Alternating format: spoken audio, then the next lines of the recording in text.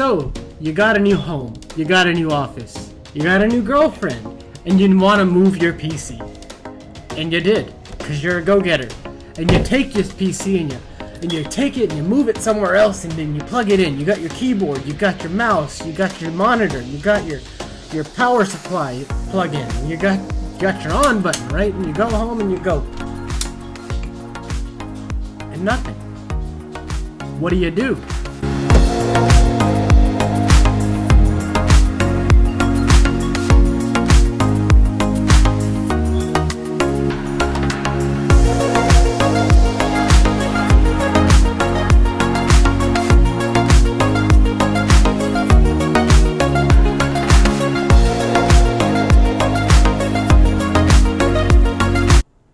Stronger power supply means you need to use the stronger cables that come with the stronger power supply. If you use your older cables that are that are rated for the 750 watt or 800 watt power supply or 850 watt power supply that you're pulling out of the old PC and you plug them straight into your new 1300 watt power supply because you got a new beefy graphics card and you want to power it and you try to turn your PC on and nothing happens and you get the VGA error light. Well, this is this is where I think you should probably start when it, when you when you're troubleshooting. What happened was we moved the PC from point A to point B. Point B was obviously the studio that is replacing this setting, and point A obviously being here. And when it got moved there, it just stopped working. It wouldn't turn on, right? So, and my tech couldn't fix it. He couldn't fix it to save his life. And so, what ended up happening is they he declared it that it's it's because it was moved around. So, so we got two issues. We have the VGA light issue, right? The VGA error light. Second, we have the boot light. We're going to focus on the VGA light first because without any display, you know, we can't see the boot menu. So how are we going to figure that out unless we figure out that VGA issue, which is our graphics card, the GPU. We don't know what's going on with it. We just know that the board is saying, "Hey, you, you should check it out." So let's figure it out. Let's tear it apart. All right. So all right, so first things first, let's go ahead and unplug this bad boy. Let's go ahead and power down. That is very dusty fans. We're gonna clean that. I can pull these VGA wires first, right? And let's see what's. Going Thinking ahead, I actually already pulled an extra VGA wire right here. So, I'm a genius. Yes. yeah, because that really helped. Let's see if we can't get the draw it needs running three separate individual wires instead of a split wire. And this is more of a breakdown for you're the average user, right? I'm not gonna I'm not using like complex terminology, I hope. If I am making something more complicated than it needs to be, please let me know. I'm trying to just this is just a simple troubleshoot. That's what it is. We were running into this issue ourselves. I thought I'd make a video about it. And, you know, I can't even get this wire to seat because if it would want to get in there, life was going so good until you wire, until you came into my life, until you didn't want to get in there. It's a six pin. I hate you. Why don't you want to get in there? That is because it's a six pin. oh my god. Alright, now. Now I want to check if we still get that VGA light. Let's just check that, then we're going to go ahead and check on that boot device.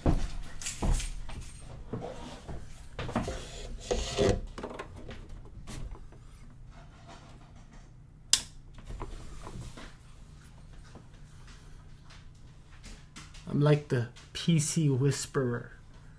I redact that statement. Oh, come on, baby. Just, just work. Just.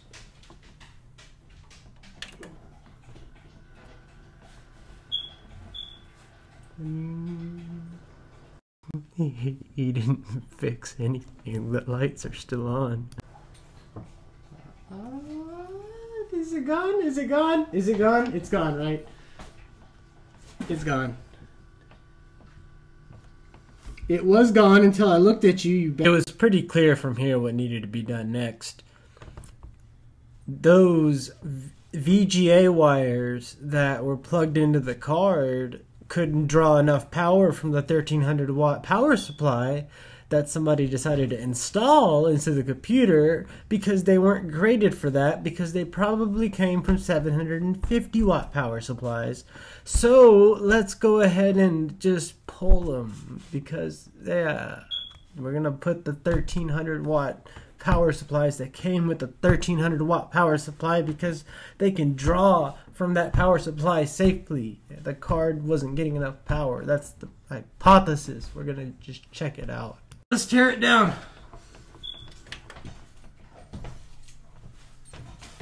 You don't want to work on computer? You think that you're special? You think that you just get to get by while all the other computers in the house work? Huh? I don't think so. Not on my watch. Now let's see what kind of disaster wiring plan is going on back here. I bet it's a mess. I bet. Let's look together.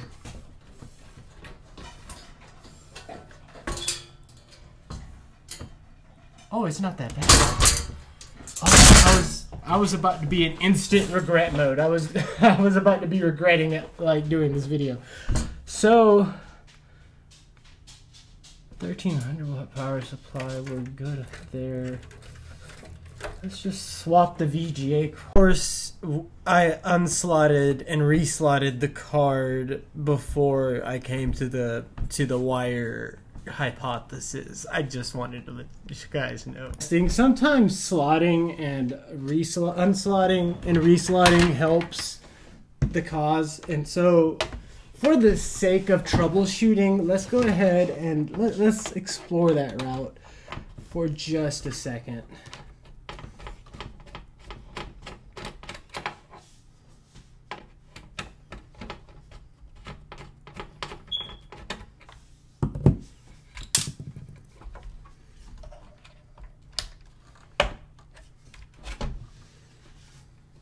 Oh, you are such a beauty.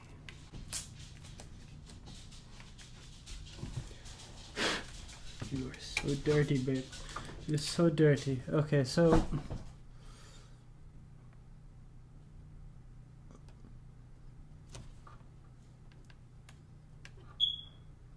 Because I haven't played too much with the switches on these cards. You know, if you guys notice that there's this little these little switches, BIOS switch or like performance mode.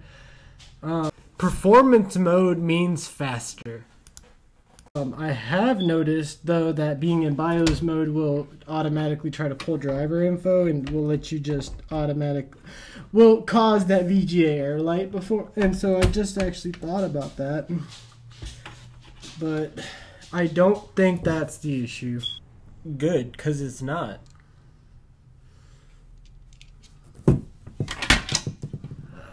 Magnetized.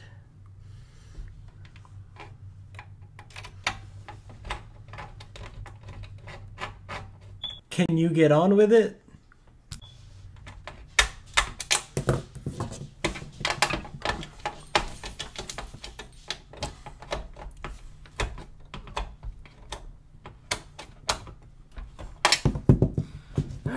So we reslotted the card, and now what we're gonna do is we're gonna go ahead and give it some more. We're gonna repower up.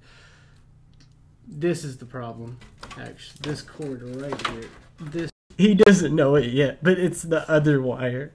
He's gonna pull the wrong wire. what an idiot! And I'll show you guys why. This is a very underrated cord.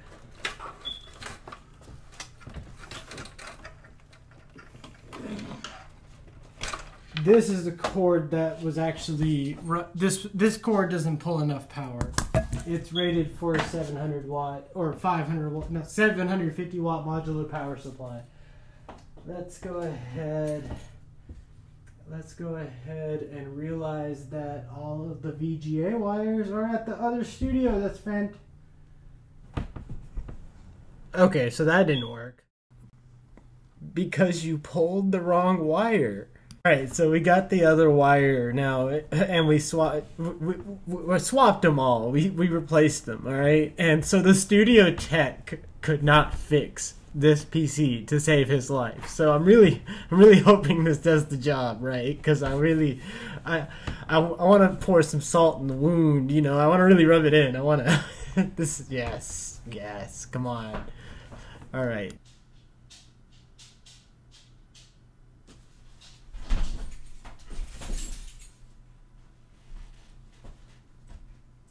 Suck on that, studio!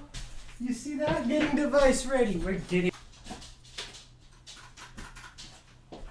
Ah.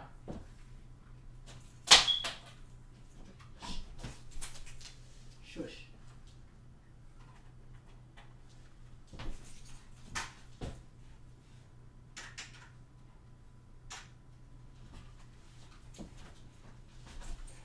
So, as you guys can see,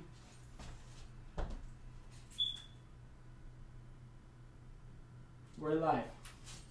Studio secondary PC for the 6900 XT testing works.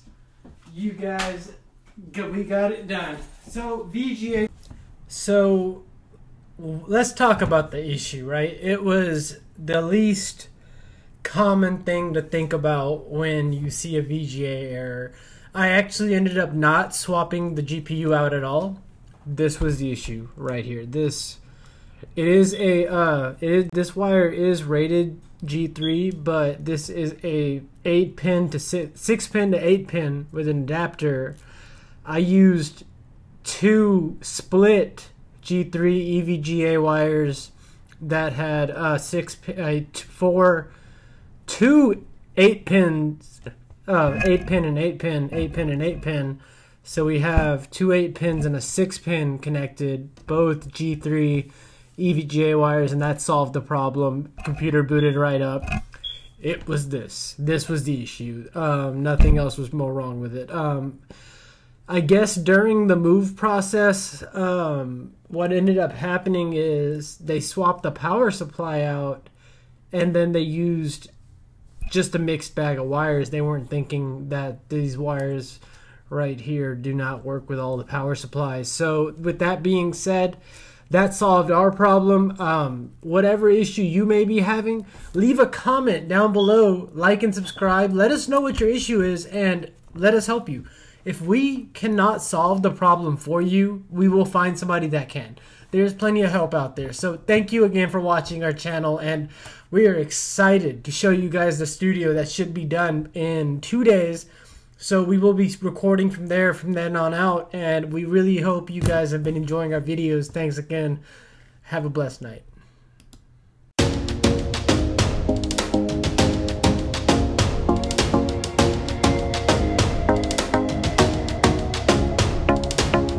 I know that wasn't the best review video. Um, it was kind of just a quick breakdown and kind of just wanted to get the situation solved while we had our studio getting set up. Um, I don't really have enough space here to record properly, so in two days when we move to our new studio, we'll be we'll have a much better setup, a lot more space. We'll be able to do these videos a lot better.